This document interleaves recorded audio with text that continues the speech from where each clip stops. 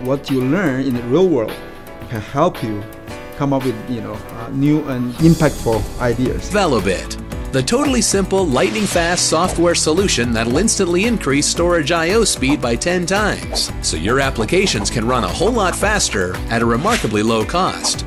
Ideas do not just come on you know uh, you know your desk in the office.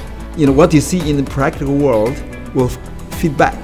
We're seeing a huge migration of people away from the spinning media, uh, you know, the, the spinning platters and the hard drives towards flash and SSD technology. Flash is still very expensive on a per gigabyte basis. You can use a little bit of flash and our technology and we'll put the most important data onto the flash. You know, we come up uh, with a new concept uh, called a content locality caching.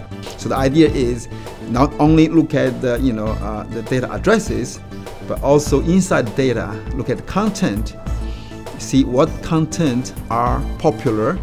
We try to cache uh, those popular data. Here's how it works.